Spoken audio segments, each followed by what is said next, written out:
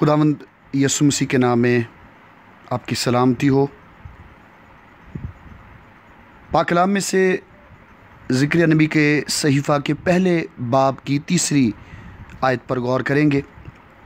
کلام مقدس میں لکھا ہے، اسی لیے تو ان سے کہہ، رب الافواج یوں فرماتا ہے کہ تم میری طرف رجوع ہو۔ رب الافواج کا فرمان ہے۔ تو میں تمہاری طرف رجوع ہوں گا، رب الافواج فرماتا ہے۔ مستقبل میں ہم جو کچھ بھی ہوں، اس کا انحصار بڑی حد تک اس بات پر ہے کہ خدا کی رہنمائی کا جواب ہم کس طرح سے دیتے ہیں۔ اگر ہم خدا سے دور چلے جاتے ہیں تو وہ ہمیں واپس لانے کے لیے پکارتا ہے۔ خدا وعدہ کرتا ہے کہ اگر ہم لوٹ آئیں تو وہ فوراً ہمارے ساتھ اپنے تعلق کی تجدید کرے گا۔ مقدس یعقوب کے خط کے چوتھے باب کی آٹھویں عید پہ لکھا ہے کہ خدا کے نزدیک جاؤ تو وہ تمہارے نزدیک آئے گا۔ اور متی کی انجیل ساتویں باب کی ساتویں آیت ہمیں یہ یقین دلاتی ہے کہ ہم مسیح کو ڈھونڈتے ہیں تو وہ ہمیں مل جاتا ہے۔ اور مسیحی زندگی کا دار و مدار بڑی حد تک ہمارے رد عمل اور خدا کا بھرپور تجربہ کرنے کی خواہش پر ہے۔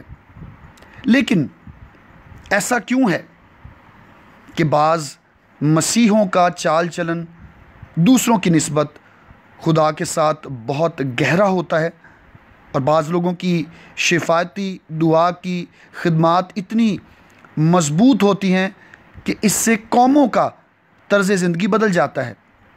بعض لوگوں کے الفاظ کو خدا کیوں اس قدر زیادہ اچھا بنا دیتا ہے کہ جب وہ بولتے یا دعا کرتے یا منادی کرتے ہیں تو پتہ چلتا ہے کہ ان کے لفظوں نے خدا کی تقدیس کی ہے۔ اس کی وجہ یہ ہے کہ یہ ہستیاں اپنے آپ کو خدا کی پیروی کے لیے وقف کر دیتی ہیں۔ انہوں نے ارادہ کر لیا ہے کہ وہ خدا کے ساتھ پرجوش تعلق سے کم کسی بات پر راضی نہیں ہوں گے اور وہ ان کے ارادے کی قدر کرتا ہے۔ آج اپنی زندگی پر غور کریں، کیا آپ خدا سے اپنے تعلق کے بارے میں مطمئن ہیں؟ یا آپ اس تعلق کو بڑھانے کی بھوک رکھتے ہیں؟ خدا کے ساتھ ایسے تعلق سے مطمئن نہ ہوں جو گناہ کی وجہ سے کمزور پڑ چکا ہے اور روح القدس کی موجودگی اور قدرت سے خالی ہے۔ آپ کو بھی خدا کی قوت اسی قدر دستیاب ہے جس قدر کے مسیحی تاریخ میں خدا کے کسی عظیم ترین خادم کو حاصل تھی۔ خدا کی طرف لوٹ آئیں۔ اور اگر آپ لوٹ آتے ہیں، تو اس کے خزانے ہمیشہ آپ کے لیے بھرے ہیں اور وہ آپ کا انتظار کر رہا ہے۔ آئیں اپنی آنکھوں کو بند کریں اور دعا کریں۔ اے خداون مہربان باپ، ہم شکر گزار ہیں کہ اے خداون تو اپنے وعدوں کی تجدید ہمارے ساتھ کرتا ہے۔ اور یہ کہتا ہے کہ اے باپ، جیسے تیرے کلام میں لکھا ہے کہ اگر ہم رجوع لائیں، تو اے خداون تو بھی ہماری جانب رجوع لائے گا۔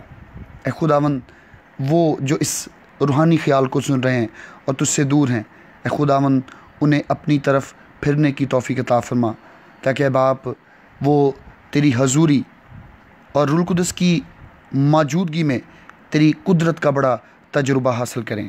مسیح یسو کے نام سے، آمین۔